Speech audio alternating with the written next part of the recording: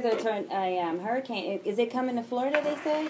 Yeah, yeah. My daughter, uh, you know, because I'm going to Florida tomorrow to Yeah. pick my to pick my kids up to bring them back to uh, here for the summer. And she called me. She was like, "Daddy, it was a hurricane out here." I was like, "What?"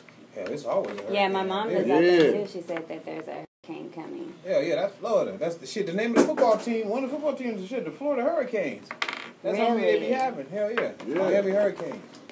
That's Yeah. You know. We had Yeah, an earthquake too last week.